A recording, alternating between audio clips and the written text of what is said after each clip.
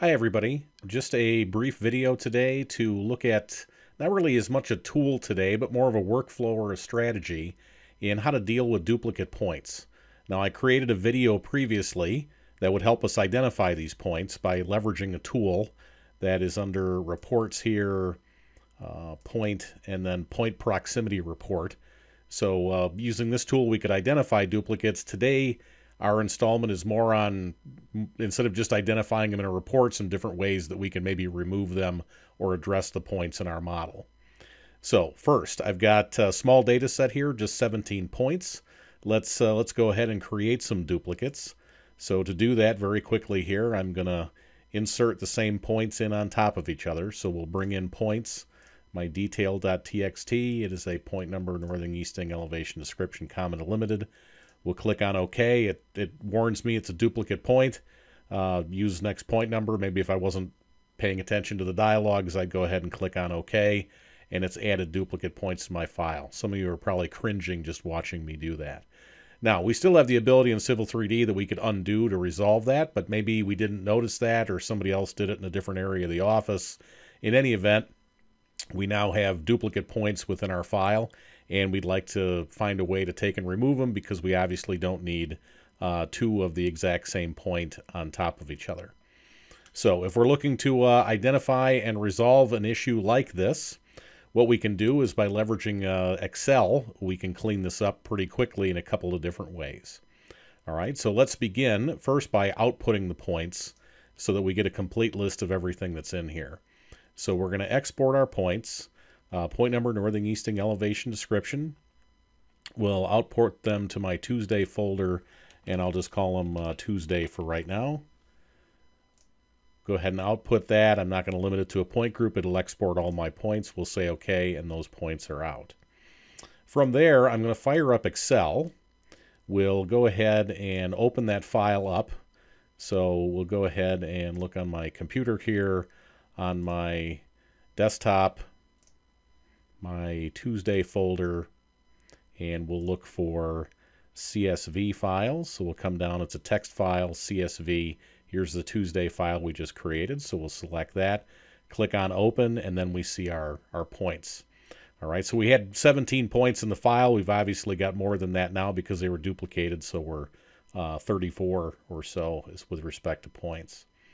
All right, so the first thing that I'm going to do is I'm going to increase the display with respect to uh, decimals in here just so that I can see how many decimals we're, we're working with. And actually, uh, some of them are four decimals. It's just easier for me to see. Uh, what I can do is hold down the control key, click both columns for the northing and the easting, and I can come up here and there's an option that we can immediately increase the number of decimals. So uh, we've increased them both to four decimal places uh, or actually to five decimal places. So that'll work out pretty good. Uh, I'm going to do the same thing with my elevations. We'll take and increase those to uh, three decimal places. So uh, once again, it's just visual. It's still going to use the information, the underlying number of decimals that are there, but just visually, I can I can see them all when they're all pretty much the the same uh, number of decimals. So now that I've cleaned that up a little bit, next thing I'm going to do is I'm going to add some quick column headers to my data. So we'll just go ahead, highlight the first column here, right click, we'll insert, and uh, click on this row here, and we'll just say uh, this is P for points, uh, N for northing, E for easting, we'll say EL for elevation, and we'll say D for description. All right, from there, what we're going to do is click in one of the cells that represents our data, and we can come over on sort and filter, and we can say we would like to filter the data. And now in doing so, we have the ability that we can start doing things. Actually, let's click on one of these. We can, doesn't crop off on the screen here. We can start doing sorts and stuff like that based on the data. Uh, maybe if it was descriptions, uh, maybe we're not interested in ground shots or something like that. We can remove that so that we've got fewer points to look at, whatever the case may be. Um, but now that the data can be filtered. Now that it can be filtered, what we're going to do is we're going to come over and we're going to click on the data pull down here, or data entry in the uh, ribbon. We're going to come down. There is an option now right here on the side that says remove duplicates. It'll say delete duplicate rows from a sheet, so we will select that. It automatically highlights all of our data. We tell it which columns should be evaluated. We'll take the check mark out for the point number because the point number is what makes them unique. But any rows or records that have the same northing, easting, elevation, and description, those will be uh, determined as, as unique or not, whether there are duplicates. I'm also going to tell it that my data has headers because that's what we created. I'll click on OK. And that quick, it found 17 duplicate values. Those 17 were removed. All right, now as far as the logic behind that, it's finding the first one on the list. If it finds another one that's the same, I don't, well, in this case, particular case, it's obviously deleting the later ones rather than the earlier ones. It's getting rid of duplicates. Uh, so it's keeping the lower numbers in this particular case. Um, there's, I don't want to say that you can, you know, pick or choose each one. This is just an automated way of doing it. All right, so this is a quick way to do it. From here, what I could do, I've now got one set of unique records. I could go back into my file, delete all the points, reinsert these points as a comma delimited file, and now I've only got one set of, of uh, unique points within my model. All right, now that being said, some people might like something a little less destructive. Maybe they don't want to delete all their points and then reinsert this. Are there other options that we have that we could do as well? And there is. Let's do this. Uh, I'm going to undo the removal of those duplicates with my points in the same status that they were before. I'm going to uh, highlight all of these points. We'll scroll down here to the bottom and I'm going to go to the Home tab and we will color them all yellow. All right, from there, by picking inside one of the cells, we will come over to the Data tab. Again, we will come down to Advanced for an advanced filter. I can filter this information in place and the list range I'm going to say from the B column, row 1, through the end, which is E35, I would like to display unique records only. So what this will do is it'll filter the list to only show me unique records, but not delete the duplicates so that I could evaluate or see what, you know, which ones are duplicates, which ones aren't. So we'll go ahead and click on OK.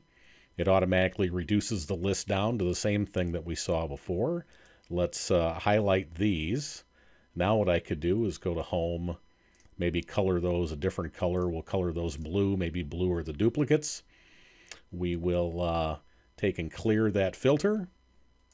And if we clear the filter, I can now easily see that the uh, yellow ones, or the, you know, in either case, the, the blue ones could be the unique ones, the yellow ones could be the duplicate.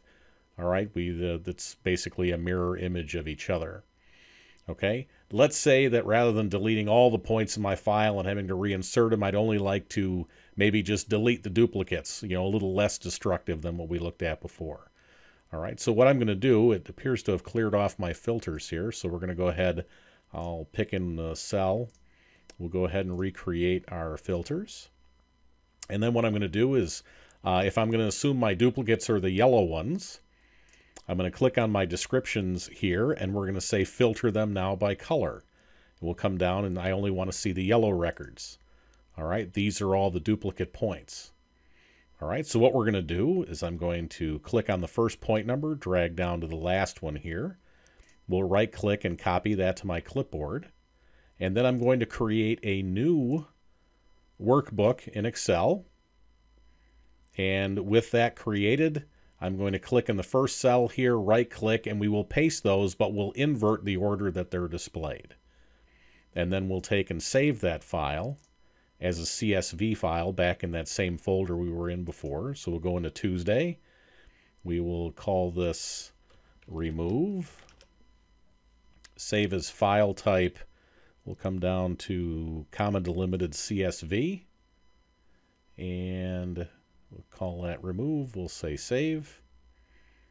Uh, some features may be lost. Common limit, that's okay. We're going to keep that format. It's exported, and we're good to go. All right, so we've performed all the analysis we would like to do. I'm going to go ahead and close out of this. Uh, save my changes to remove. We'll say no. We're not going to worry about saving that. One thing that I would point out here, the main intention of this is to be, it's looking for duplicate records. All right, so I mean, it's going to look all the way out to the ends with, with respect to the number of decimals that are here. If you think about it, if you'd like to maybe leverage this tool more as a proximity tool, uh, you could create another maybe altered northing and easting column over here that maybe limited the number of decimals down to two decimal places or one decimal place. and then do your comparisons off that because then in effect that would give you some proximity. You know, maybe if it's a duplicate to two decimal places is close enough as if it was uh, duplicate to, to three or four or beyond. So you could actually start to, you know, further uh, enhance this workflow to not hit things that, you know, have to be right on the money to four decimal places, but maybe to the, uh, the level of accuracy that you'd like to work with. Okay. So let's drop out of this. Uh, save my changes. I'll save it in case I'd like to come back to it. Um, we'll call it uh, Tuesday filtered. We'll say save and we'll say yes and we're back to here. Okay. So I'm back in my Civil 3D file. I've got my duplicate points, but I've performed my analysis now in Excel. What I'd like to do, rather than deleting all the points, I'd like to instead just insert, or, I'm sorry, instead of inserting new points, we'll, uh, we'll go ahead and remove the, uh, the bad ones, the duplicates. So what I'm going to do is we're going to open up that uh, removal or that, uh, that file that contains the duplicates. Let's go to my desktop folder Tuesday. Here is my remove CSV. I'm going to right click on that and I'm going to say open with Notepad. Once I open it with Notepad, there's all my points separated by commas. So I'm going to highlight that, Control C to copy it to the clipboard. We'll go ahead and close it. And then we'll come down here if I'd like to get rid of the points. I'm going to hit E for erase. As far as select objects, I'll come over to the side and we'll use the transparent filter here for point number. So enter point number. I will click in the dialog here, and then I will hit Control V for paste. Oops. Paste clip, uh, let's, I'm sorry, I was out on the screen. Let's go ahead and we'll say E for erase. Select objects. We'll say the point filter here. We'll click down in the dialog down here, and we will say Control V, which pastes in our points, comma delimited. I'll hit enter. We see it went out and found 17 points. Now from here, it's going to want to know, do we have any other point numbers we want to enter? And I do not, so I'm going to hit escape to complete that. And then erase, do I want to erase or select any other objects? I do not, so I will hit enter. And when I hit enter, it has automatically gone through and erased all of the duplicate points. All right, now having said that, uh, there is a limitation to the amount of points that we can do at one time. So if you had a thousand duplicates or something like that, odds are you're not going to be able to put a thousand point numbers separated by commas. If you'd like to do it, you'd you know probably want to do it in groups or something like that, in sections or multiple erase commands rather than to try and do it all at once. But let's say your intention is, you know what, I really don't want to erase them. Maybe those points were leveraged as part of something else, and I'm worried with the dynamic or, or automatic way that things are updated in Civil 3D, you know, the ramifications of deleting some of those points. I just don't want to see them anymore. I just will just make them go away. Just can you make them invisible? I can do that as well. Let's go ahead and hit uh, undo here. We'll back up a couple of steps to get our duplicate points back. So our duplicates are back. And what we'll do is we'll use a strategy with point groups to basically hide the duplicate points. So we'll come back over to Prospector. I've only got one group in this particular model, all points. I'll right click on point groups and we'll say new. And the new point group that I'm going to create, we'll just call it hidden for right now. And uh, point style display should be none. The point label style none as well. And then the points that should be included in that point group, we'll say with numbers matching Click in the dialog here. I will then hit Control V for paste. It will grab all of those points. We will then come down to click on OK. It, uh, it found all of those, and now those points have been suppressed from display. So the, the least destructive way of doing it, and that if, you know in the event that those points were used for something else, and deleting them may cause issues somewhere along the way, uh, we now have the ability that we can kind of throw them into that point group, and any future ones that may cause us issues such that they're hidden or suppressed and uh, once again not as destructive as actually deleting them. Okay? So with that, we've looked at a couple of strategies and workflows uh, with respect to how to work with uh, duplicate points. First thing, as I mentioned before, uh, I've got a previous video that talks about the point proximity report. That will give you an automatic listing of points that are duplicate or near duplicate. You can do a search for that video. We'll explain that. But in, uh, in this particular video, what we went through today, if we have points that have been inserted either inadvertently or otherwise to create duplicates, those can be exported quickly to Excel. using some of the tools within Excel, we can remove the duplicates, reinsert them back into here. Or we can identify the duplicates, add them to a point list, and then come in here, delete them uh, more um, surgically, or we could add them to a point group such that they're uh, just suppressed from display. So hope this has been helpful, and I look forward to talking to you again soon. See ya.